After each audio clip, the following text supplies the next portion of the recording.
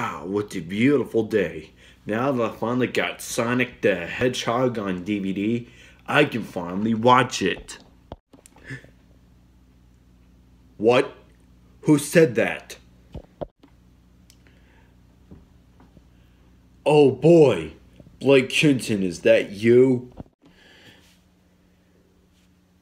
And now you're trying to tell me if this DVD has the Paramount logo with Sonic's rings.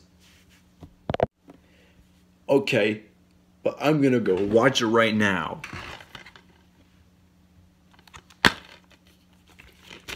I don't even know why the disc is born gray, but who cares?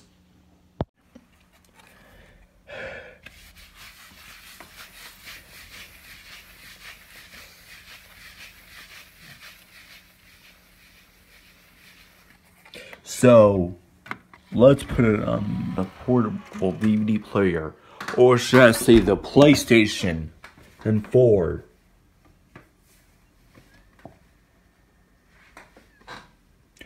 And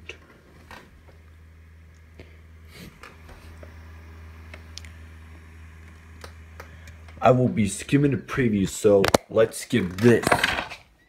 Okay, then I finally skimmed the previews. I'm going on to the main menu.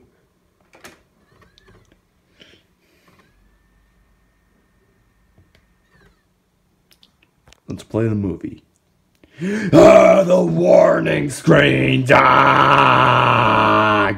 I just want to see the movie, not this one.